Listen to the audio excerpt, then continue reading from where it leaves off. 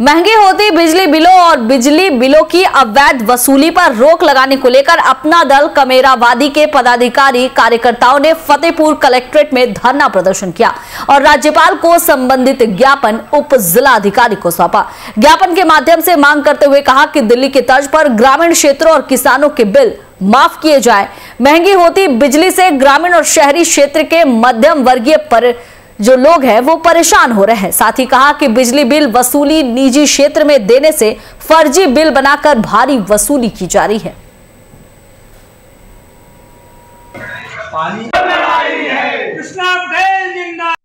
है इसलिए जहानाबाद को सूखा घोषित किया जाए विधानसभा को और जो नहर हैं इनमें टेल तक पानी पहुँचाया जाए और राजकीय नलकूपों को दुरुस्त करा करके सिंचाई का काम कराया जाए।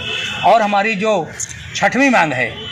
पूरे हमारे जनपद फतेहपुर में प्रमुख मांग हमारी जो जिला लोकल की है, फतेहपुर की जल जीवन मिशन के तहत ठेकेदारों के द्वारा गाँव पंचायतों में आरसीसी, इंटरलॉकिंग, खड़िंजा मार्गों को खोदने का काम किया गया था। उसका पुनः निर्माण नहीं कराया गया है।